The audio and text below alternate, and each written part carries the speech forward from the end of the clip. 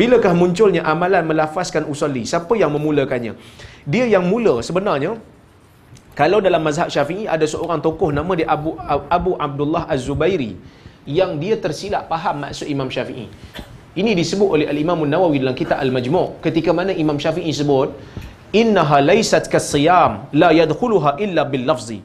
Yang mana salat ni bukan macam puasa. Bab salat ni kita tak masuk dalam salat melainkan dengan lafaz. Jadi dia faham lafaz tu lafaz niat. Sedangkan Nabi Imam Syafi'i maksudkan lafaz tu lafaz takbir. Takbiratul ihram tu.